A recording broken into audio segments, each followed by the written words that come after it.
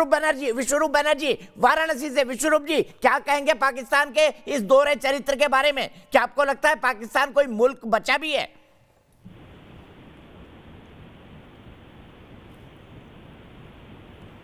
रही थी। हमारे देश, भारत ने जो भी आज तक किया है, जैसे कि आज का दिन है 16 दिसंबर 1971 के दिन जो भी हुआ था, भारत ने पूर्वी पाकिस्तान को आज़ाद करवाया था पाकिस्तान से और आज वो बांग्लादेश के नाम से जाना जाता है। तो मैं पहले तो बेसिकली ये कहना चाहूँगा भारत अभी और हमेशा से फैक्ट्स पे बातें कर रहा है।